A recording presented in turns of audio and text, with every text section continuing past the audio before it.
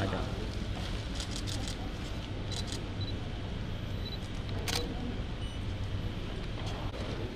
នៅព្រឹកថ្ងៃច័ន្ទ900ខែភទ្របទឆ្នាំខាលចត្វាស័កពុទ្ធសករាជ2566ត្រូវនឹងថ្ងៃទី19ខែកញ្ញាឆ្នាំ2022នេះសម្ដេចក្រឡាហោមសុខេងឧបនាយករដ្ឋមន្ត្រីរដ្ឋមន្ត្រីក្រសួងមហាផ្ទៃនិងជាប្រធានគណៈកម្មាធិការជាតិប្រយុទ្ធប្រឆាំងអំពើជួញដូរមនុស្សបានអញ្ជើញដឹកនាំកិច្ចប្រជុំស្ដីពីការប្រយុទ្ធប្រឆាំងការជួញដូរមនុស្សជួញដូរពលកម្មនិងអាជីវកម្មផ្លូវភេទនៅទីស្តីការក្រសួងមហាផ្ទៃ កិច្ចប្រជុំនេះមានការអញ្ជើញចូលរួមពីឯកឧត្តមកើតរិទ្ធរដ្ឋមន្ត្រីក្រសួងយុតិធធឯកឧត្តមរដ្ឋលេខាធិការប្រចាំការក្រសួងមហាផ្ទៃ ឯកឧត្តមលោកជំទាវរដ្ឋលេខាធិការអនុរដ្ឋលេខាធិការឯកឧត្តមនាយឧត្តមស្នេហ៍សន្តិបណ្ឌិតនេតសាវឿនអគ្គស្នងការនគរបាលជាតិអនុប្រធានគណៈកម្មាធិការជាតិប្រយុទ្ធប្រឆាំងអំពើជួញដូរមនុស្សនិងជាប្រធានគណៈបញ្ជាការដឹកនាំប្រតិបត្តិការបង្កើនការប្រយុទ្ធប្រឆាំងគ្រប់ទម្រង់នៃអំពើជួញដូរមនុស្សជួញដូរពលកម្មនិងអាជីវកម្មផ្លូវភេទឯកឧត្តមនាយឧត្តមស្នេហ៍អគ្គមេបញ្ជាការរងនិងជាមេបញ្ជាការកងរាជអាវុធហត្ថលើផ្ទៃប្រទេសឯកឧត្តមនាយឧត្តមស្នេហ៍អគ្គនាយកអគ្គលេខាធិការអភិបាលរាជធានីខេត្តស្នងការរាជធានីខេត្តនិងមន្ត្រីជាន់ខ្ពស់ពាក់ព័ន្ធមួយចំនួនទៀតសម្ដេចក្រឡាហោមសុខេងឧបនាយករដ្ឋមន្ត្រី បានមានប្រសាសន៍ថារាជរដ្ឋាភិបាលកម្ពុជា បានខិតខំប្រឹងប្រែងប្រកបដោយឆន្ទៈក្នុងការប្រយុទ្ធប្រឆាំងអំពើជួញដូរមនុស្ស ក្នុងនោះគិតចាប់ពីថ្ងៃទី18ខែសីហាដល់ថ្ងៃទី18ខែកញ្ញាឆ្នាំ2022ក្រសួងបានទទួលពាក្យបណ្ដឹងសរុបចំនួន289ករណីពីសាមីជនសាច់ញាតិស្ថានទូតនិងអង្គការអន្តរជាតិមួយចំនួន។ សម្ដេចឲ្យដឹងថាខេត្តព្រះសីហនុមាន212ករណីពោធិ៍សាត់មាន4ករណីស្វាយរៀងមាន18ករណីខេត្តកោះកុងមាន5ករណីបៃលិនមាន1ករណីឧត្តរមានជ័យមាន14ករណីកណ្ដាលមាន18ករណី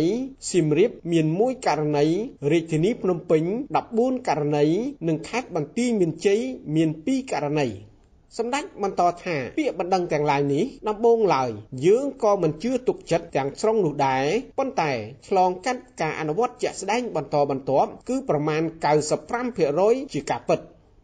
សម្ដេចក្រឡាហោមបានបន្តថាក្រមប្រតិបត្តិការក៏បានស្រាវជ្រាវនិងស៊ើបអង្កេតបានករណីមួយចំនួនដែរដោយគិតចាប់ពីថ្ងៃទី10ខែសីហាដល់ថ្ងៃទី10ខែកញ្ញា បានស្រាវជ្រាវ និងស៊ើបអង្កេត បានចំនួន85ករណីរកឃើញមនុស្ស176នាក់មាន8សញ្ជាតិក្នុងនោះខេត្តព្រះសីហនុច្រើនជាងគេនិងកត់សម្គាល់ថាភាគច្រើននៃជនរងគ្រោះគឺធ្វើការនៅកន្លែងអាជីវកម្មលបែងភ្នាល់អនឡាញខុសច្បាប់ ដើម្បីធានាឲ្យកិច្ចប្រតិបត្តិការនៃការប្រយុទ្ធប្រឆាំងអំពើជួញដូរមនុស្សជួញដូរកម្លាំងពលកម្មនិងអាជីវកម្មផ្លូវភេទសម្ដេចក្រឡាហោមសុខេងបានណែនាំឲ្យប្រកាន់ជំហរឯកភាពគ្នាថាការកសាងនិងអភិវឌ្ឍប្រទេសជាតិគឺដោយគឺដោយត្រូវប្រកាន់គោលការណ៍នីតិរដ្ឋមិនមែនដោយផ្អែកលើលបែងស៊ីសងខុសច្បាប់នោះទេ សម្ដេចបន្ថែមថាទោះបីមានការប្រឈមខ្លះក៏ដោយប៉ុន្តែគ្រប់គ្នាត្រូវយល់ឲ្យបានត្រឹមត្រូវថាអំពើជួញដូរមនុស្សនិងល្បែងអនឡាញខុសច្បាប់នេះជាអំពើល្មើសច្បាប់បំរើផលប្រយោជន៍តែបុគ្គលឬក្រុមមនុស្សមួយចំនួនតូចប៉ុណ្ណោះពុំមែនបំរើផលប្រយោជន៍សាធារណៈឬផលប្រយោជន៍ប្រជាជនទូទៅឡើយ សម្ដេចបានចាត់ទុកបញ្ហាប្រឈមនេះថាជាឱកាសឲ្យមន្ត្រីបញ្ចេញស្នាដៃបង្ហាញឆន្ទៈនិងការបដិញ្ញាចិត្តក្នុងការបំពេញភារកិច្ចជូនរាជរដ្ឋាភិបាលនិងប្រជាពលរដ្ឋដែរត្បិតប្រសិនបើ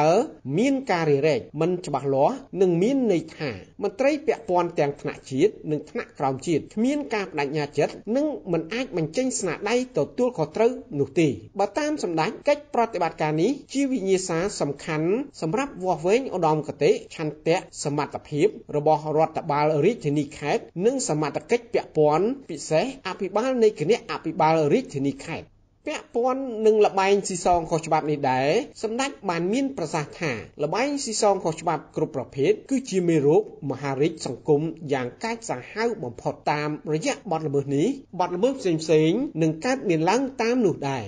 មានជាអានបាត់ល្មើសជួញដូរមនុស្សគ្រប់ទម្រង់បាត់ល្មើសគ្រឿងញៀនភេរវកម្មលួចឆក់ប្លន់បាត់ល្មើសចម្រិតទារប្រាក់បាត់ល្មើសធ្វើទារុណកម្មកាប់សម្លាប់សងសឹកប្រើប្រាស់អាវុធខុសច្បាប់បាត់ល្មើសអន្តោប្រវេសន៍ខុសច្បាប់បាត់ល្មើសសម្អាតប្រាក់និងក៏ប៉ះពាល់ដល់ការកសាងយុត្តិធម៌សង្គមសម្ដេចបន្តសង្កត់ធ្ងន់ទៀតថាការបណ្ដេតបណ្ដោយឲ្យមានលបែងស៊ីសងខុសច្បាប់អាចជំនួសឲ្យការវិនិយោគត្រឹមត្រូវតាមច្បាប់នោះទេ អាខុសច្បាប់និងមានច្បាប់មានចំណូលស្អីចូលរដ្ឋដោយវិនិយោគត្រឹមត្រូវវាថែមទាំងរារាំងការវិនិយោគត្រឹមត្រូវដែលគេមានទុនវិនិយោគច្រើនថែមទៀតផងព្រោះធម្មតាមុននឹងគេយកប្រាក់មកវិនិយោគគេមើលទាំងអស់ការមកច្រើននៃអ្នកមិនត្រឹមត្រូវនេះវាក៏មិនអាចមកជំនួសអ្នកជំនាញល្អៗនិងទេសចរនោះបានដែរប៉ុន្តែវាថែមទាំងរារាំងអ្នកជំនាញនិងទេសចរថែមទៀតផង